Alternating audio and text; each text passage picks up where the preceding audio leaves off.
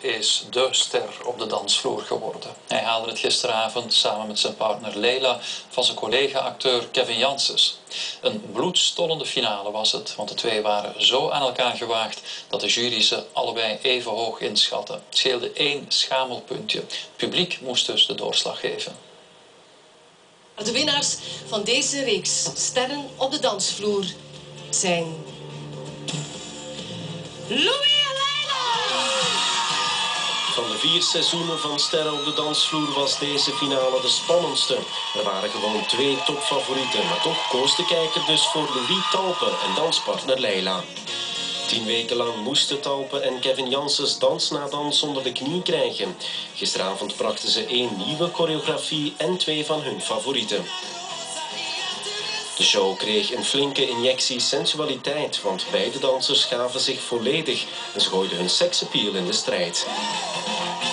Waar ik moet op letten is vooral dat Kanushka hier een beetje kalmeren, want anders komt hij Ja, met dat mag er uit, hè. Kevin, heeft lang geduurd. Tien. Er werd met tienen gesmeten, maar na twee dansen bleven de twee heren op dezelfde hoogte. Jongens, wij gaan een fotofinish nodig hebben, want ze zijn alle twee super. Absoluut prachtige samba. En voor het eerst was er hip-hop op de dansvloer. Louis Talpe en partner Leila stunten met een heel eigentijdse choreografie. De jury vond het minder. De heren eindigden met één punt verschil. Maar daar moest de stem van de kijker bij komen. En die was voor Louis. Vorige editie danste coach Leila met winnaar Antonia Randia. Voor haar is het dus de tweede overwinning op rij. Ja, ook achteraf was iedereen het erover eens. Dit was een finale op zeer hoog niveau. En met achteraf bedoelen we natuurlijk op het feestje dat meteen daarna losbarstte. Want dat hoort er natuurlijk ook bij. Showbeest Louis Talpe krijgt dus de stem van de kijker en mag zich een jaar lang de beste bekende Vlaming op de dansvloer noemen.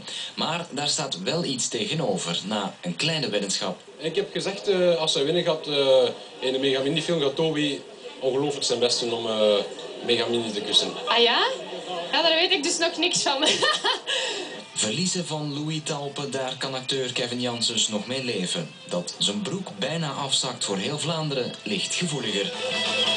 Met- de freestyle sprong mijn broek open en ik zat er heel een tijd van mijn ogen naar te kijken. En dacht van oké, ik laat het, want ze blijft recht. Maar op een gegeven moment hebben wij een stukje jive.